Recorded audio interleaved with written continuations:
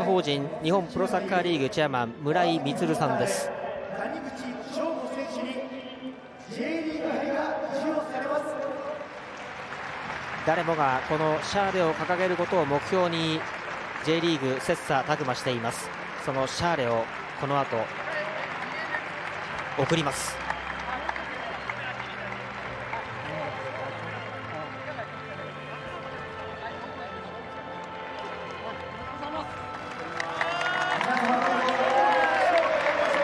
谷口首相に今 J リーグの優勝シャーレが手渡されました。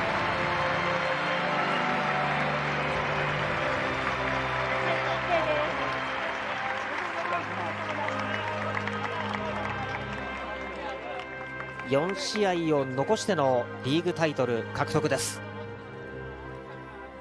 ここまで負けたのはたった1回。4試合残して勝ち点85まで伸ばして優勝を決めました川崎フロンターレ。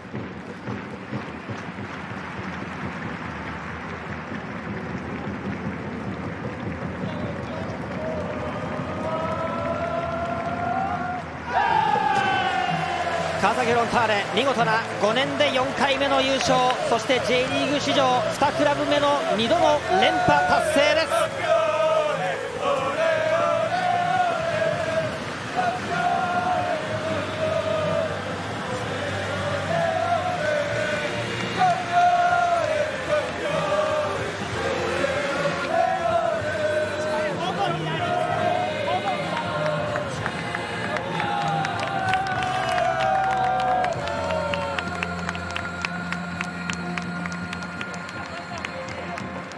シーズンも川崎は本当に強かったですが昨シーズンでも3試合は負けております。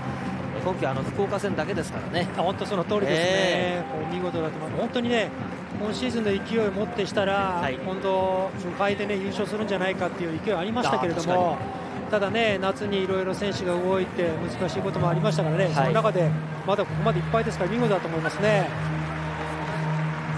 今度の優勝は中村健吾さん、まあ、クラブの OB として、まあ、味わう形になりました。今年もだるまに目を入れます。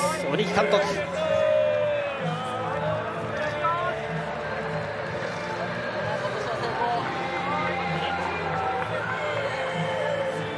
もう4回目ぐらいになると慣れたもんですね、本当ですね。はい。谷口のですねええ。シャーレをもらう時ももう慣れたもんですね、余裕がありますよね。はい。ね最初ここでね大逆転で優勝した時は最後上げたの黒桶ですから。いや本当その通りですよね、もう慣れたもんで、はい。堂々たるもんですよね。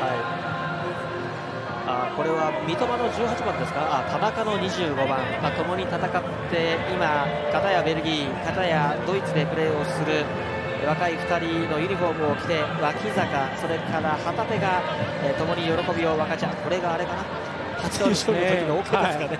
まあ、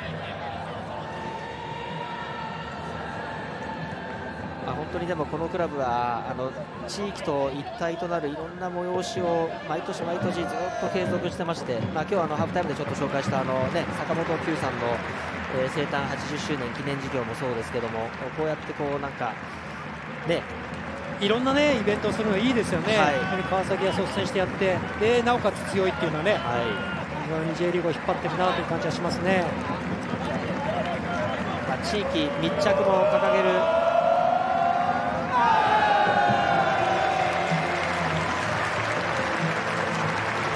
改めてバックアップのメンバーも含めたところでカップ上げを行いました。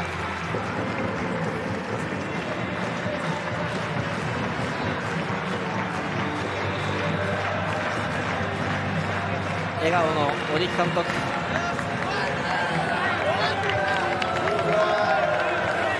ちょうど今シーズンの鹿島戦で鬼木監督は監督としての100勝目を挙げています